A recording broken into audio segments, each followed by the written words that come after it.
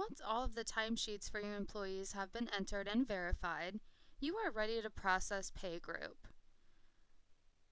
To process Pay Group, go to Employees from the main menu at the top and then select Process Pay Group. Select your pay group if you have one, your pay period begin date, your pay period end date, and your pay date. If you use timesheet hours, after you've selected your dates, click Refresh. This loads the timesheet hours based off of the dates that you've selected at the top. If you are paying all employees in the selected group, go ahead and click the Select All button. This automatically checks off all of your employees to pay, and for any employees that wish to use direct deposit, it automatically selects the direct deposit pay option. As you can see, I only have one employee that wishes to use direct deposit. Everybody else will be getting a regular paycheck. If you do not click the Select All button, and you have somebody that is using direct deposit, you will need to check both the Pay and Direct Deposit option.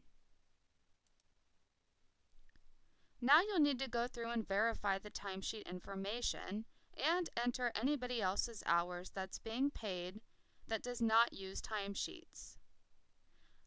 As you can see, there is a column over here that indicates each timesheet user.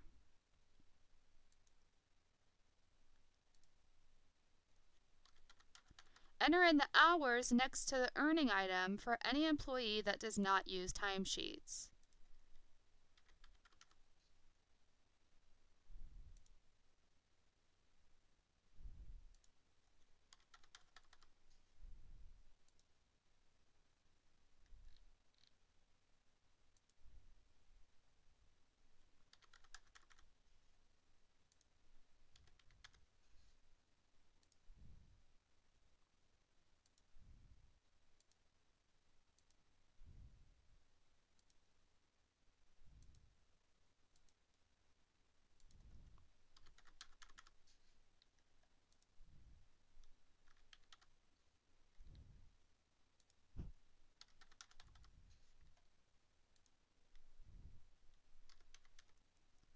Once you've completed filling out all of the hours and verifying the timesheet information, now you're ready to click the button to create paychecks.